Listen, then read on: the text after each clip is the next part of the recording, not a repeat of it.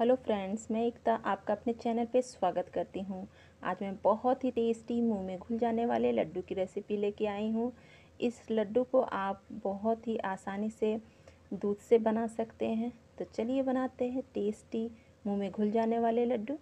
तो इसके लिए देखिए, मैंने डेढ़ के जी मैंने दूध लिया है और दूध को हमको बहुत ही अच्छे से गाढ़ा करना है। तो बहुत ही टेस्टी लड्डू बनता है। तो यहाँ पर देखिए मैंने गैस ऑन कर दिया है और दूध को हमको गाढ़ा करना है। अगर आप इतना झंझट नहीं चाहते तो आप डायरेक्ट मावा से भी बना सकते हैं। तो मैं यहाँ पर होममेड मावा बनाऊँगी। तो बहुत ही इजी है होममेड मावा बनाना। उससे पहले भी मैंने कई रेसिपी डाली है। मावा की तो आप ज़रूर देखिएगा। यहाँ पर देखिए दूध काफ़ी अच्छे से बॉयल हो रहा है और ये जो इसकी मिला, मलाई है किनारे लगने लगता है तो आपको इसको लगातार किनारे चलाते रहना है। तो बस देखिए, हमको इसको आपको दिख रहा होगा कि दूध काफ़ी जल के गाढ़ा हो चुका है। तो बहुत ही टेस्टी ये मुँह में घुल जाने वाली मिठाई बनती है। तो बस देखिए, हमने इस तरह से इसको लगाते, चला, लगातार चलाते हुए इसको हमको गाढ़ा कर लेना है।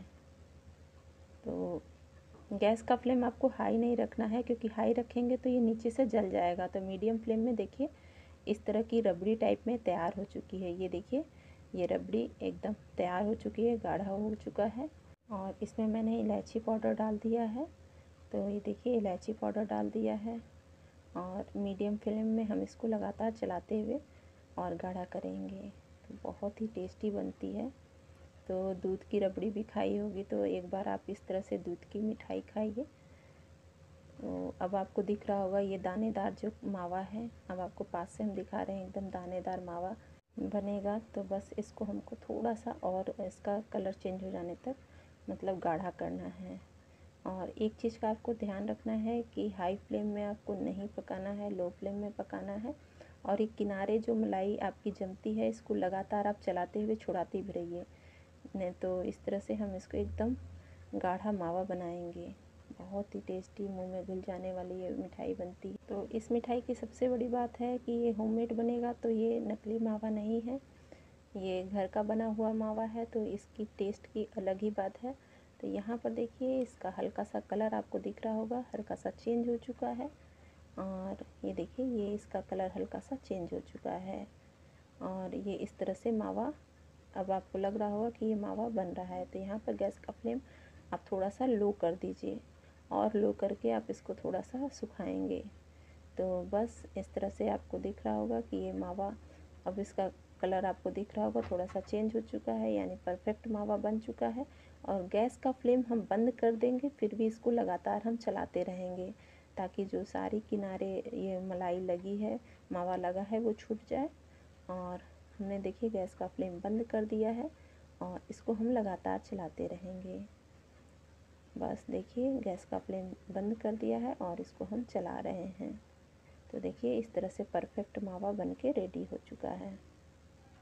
इस मावे को मैंने एक प्लेट में निकाल लिया है और अब हम इसको एक बड़े थाली में निकाल लेंगे और इसमें हम साथ में भुना हुआ सूजी ऐड कर लिए हैं। तो ये देखिए, मैंने इसमें सूजी ऐड कर दिया है मावा में और अब हम इसमें ड्राई फ्रूट ऐड करेंगे। तो ड्राई फ्रूट को हमने थोड़ा सा पतला पतला कट कर लिया है, बहुत ही अच्छे से और नारियल का भूरा इसमें अच्छे से मिक्स कर दिया है। बहुत ही टेस्टी ये मुँह में घुल जाने वाले लड्डू बनते हैं। अगर एकदम आप पूरा मावा का बनाएँगे तो उतना टेस्टी नहीं बनता है तो इसमें थोड़ा सा आप ये नारियल का भूरा और थोड़ा सा सूजी डालेंगे तो बहुत ही टेस्टी बनती है। तो अब हम इसमें चीनी ऐड करेंगे। तो मैंने चीनी को पीस लिया है और अब हम इसमें मिक्स करेंगे। तो देखिए मैंने चीनी को मिक्सर में पीस लिया है। और इसको हम ऐड करेंगे।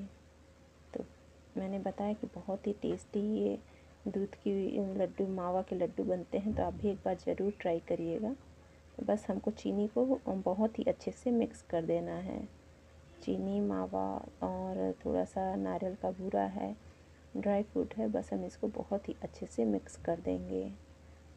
तो यहाँ पर देखिए मैं थोड़ा सा और इसमें ड्राई फ्रूट, ये नारियल और किशमिश है थोड़ा सा और ऐड कर रही हूँ। तो इससे ये और भी टेस्टी बनता है। तो बस देखिए, इसको हमने अच्छे से मिक्स कर लिया है। इसमें मैंने थोड़ा सा दूध डाल दिया है। तो ये देखिए हल्का सा दूध डाल दिया है और इस तरह का हम परफेक्ट लड्डू बना लेंगे। बहुत ही टेस्टी, एकदम मुँह में घुल जाने वाली ये मावा के लड्डू बनते हैं। तो ये देखिए, एकदम सॉफ्ट मुँह में घुल जाने वाले लड्डू बन के रेडी हो चुके हैं। तो अगर आप इसमें थोड़ा भी दूध नहीं डालना चाहते तो आप मत डालिए।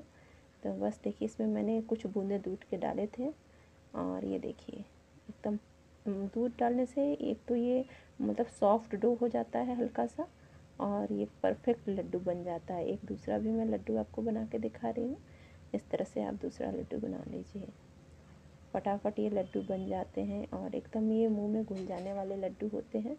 तो बस देखिए, इस तरह से हम सारे लड्डू को बना लेंगे तो ये देखिए, इस तरह से हमने लड्डू बना लिया है। तो मावा के आपने बहुत चीज़ खाए होंगे तो एक बार आप इस तरह से मावा के लड्डू बनाइए। एकदम मुँह में घुल जाने वाले बनते हैं और ये बहुत ही टेस्टी होते हैं। तो आई होप कि आपको मावा के लड्डू ज़रूर पसंद आए होंगे। फ्रेंड्स, अगर वीडियो अच्छा लगता है तो लाइक, शेयर, सब्सक्राइब करना मत भूलिएगा। Thank you.